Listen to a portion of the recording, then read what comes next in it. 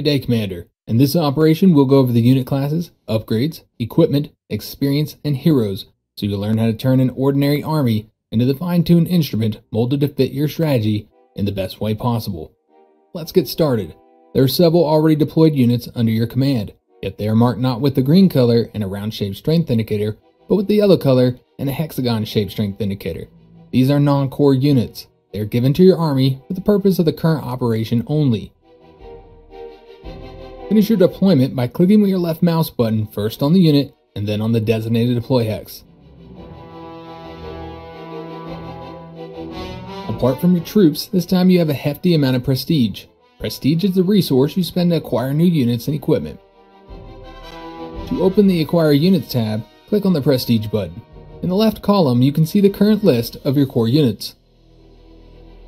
At the bottom of the tab, you can see the list of available units. To filter available units by class, you can click on the corresponding filter button.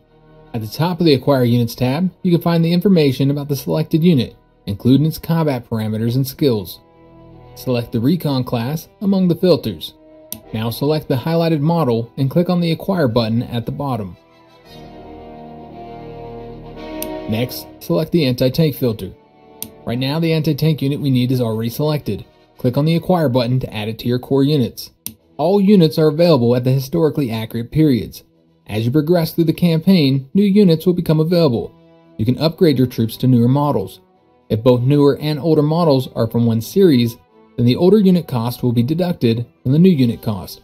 If they're not from the same series, then only 50% of the older unit cost will be deducted. The upgraded unit will retain all the experience gained before an upgrade. If the unit has an upgrade available, it is marked with the yellow arrow symbol.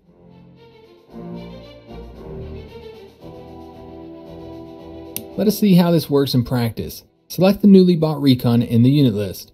To upgrade it, select the Upgrade tab, then select Recon in the list of available upgrades. Now you can see the parameters of your unit. The increase or decrease in combat parameters after the upgrade is marked with green and red numbers.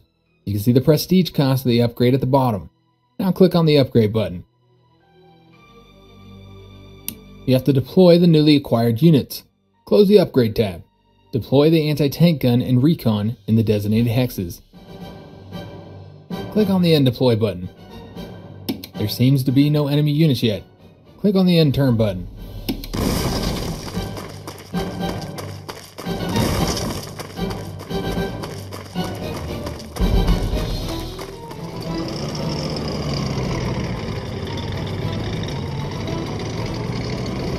The enemy troops are close. We have to destroy them. Select the artillery and attack the nearest infantry unit.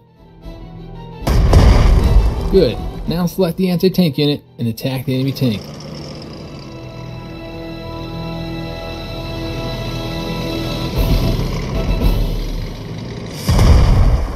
Your anti-tank gun has gained a new experience level. We'll get back to it after the battle. But for now, select the self-propelled artillery and attack the second infantry unit. Now finish off the infantry with the tank. One enemy unit left. Send your recon unit to eliminate it. Excellent. The enemy attack was repelled. Our recon unit spotted more enemy troops in the distance. You should make more thorough preparations for the enemy's main force's arrival and strengthen your troops with additional equipment. Open the unit info screen of the infantry. To do it, click on your unit with the middle mouse button, then click on the equipment tab. Equipment is all sorts of additional weaponry, devices, and personnel aimed at strengthening your troops, starting with machine guns and finishing with the field medics and sapper squads. Equipment can either give passive bonuses or require an activation with a limited number of uses. Select the mortar from the list of equipment. It is a good example of an equipment with passive bonuses. It extends the gun range by one, allowing the infantry to attack from afar. However, it is also heavy equipment. Units with this model of mortar cannot board air transport and cannot move without vehicles. Click on the Acquire button and close the Equipment tab.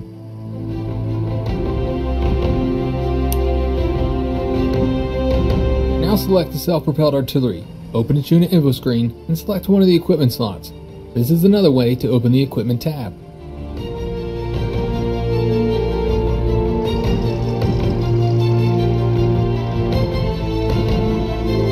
List of available equipment, select the incendiary shells. They're perfect for firing at soft targets. Click on the Acquire button and then close the tab.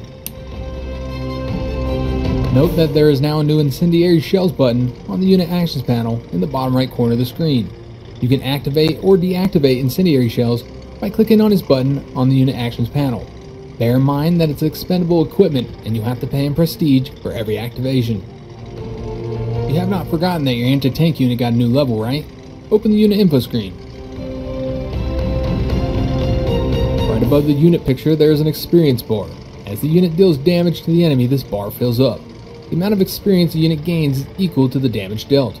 Additionally, a unit gains 10 experience when it suffers losses or defeats an enemy unit. Recon units gain an additional 10 experience when they gather intelligence data. There are other class specific ways to get experience, which you can learn by hovering the mouse over the experience bar of any given class. When the unit gets enough experience for a new level, you can level it up manually. To do it, open the Level Up tab. In this tab, you can see all skills available to this unit. Select the Vulnerability skill and click on the Level Up button.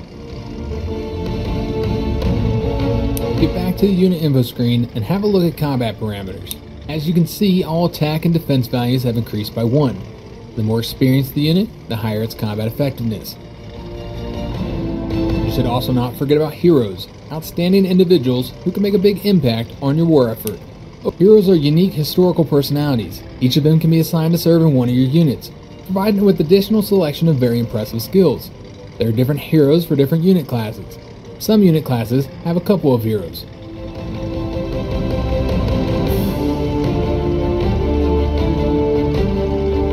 In order to get a hero, one of your units has to fulfill the requirements. You can see the corresponding progress bar above the hero skills list. Select Fritz Christen from the list and click on the Assign button.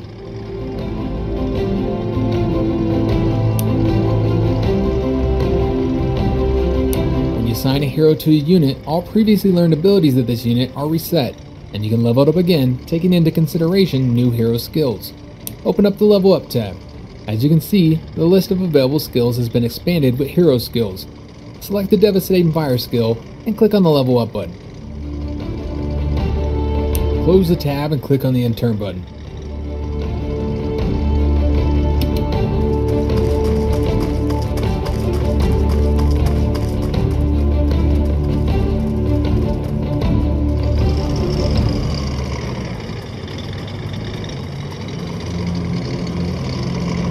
Here comes the enemy main force. It seems their commander is in the tank unit. It is a perfect moment to try out the new shells. Keep in mind that every volley with expendable equipment costs you a little bit of prestige, so you should use it only when the necessity arises. Select the self-propelled artillery and click on the incendiary shells button. Then attack the designated enemy unit. The artillery dealt more damage. We have no time to waste. Select the tank and attack the enemy artillery.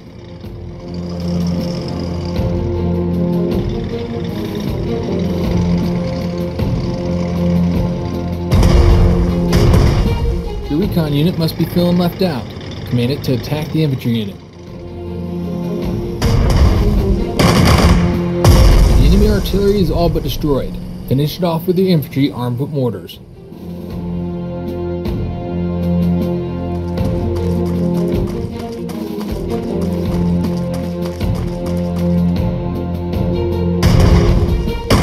Perfect. Without the artillery support, enemy troops won't last long. Use your artillery to soften up the enemy infantry ranks.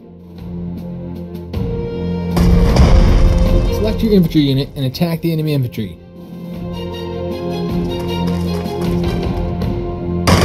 The enemy commander is left alone, while you have an anti-tank unit at hand. Attack!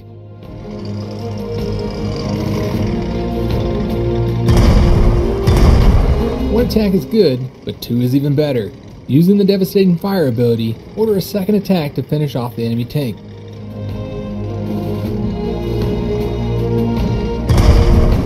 We have dealt with the enemy commander. Congratulations, the operation was a success. Click on the Finish Operation button to exit to the tutorial menu.